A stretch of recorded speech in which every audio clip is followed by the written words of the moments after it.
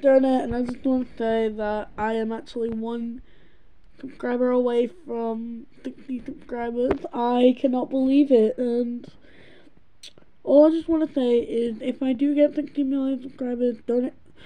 Fuck. 60, 60 Fuck! Anyway. Anyway. So if you do expect me to get 60 subscribers, I want to say a big thank you for helping me get this far. This year has been weird. 2022 was probably the best year for me. Also, Chinese New Year was just recently. Just kind of cool, actually. Literally just came back. Anyway. Anyway, uh, shout out. Uh, we're not doing outs this video, but I will do them probably next video.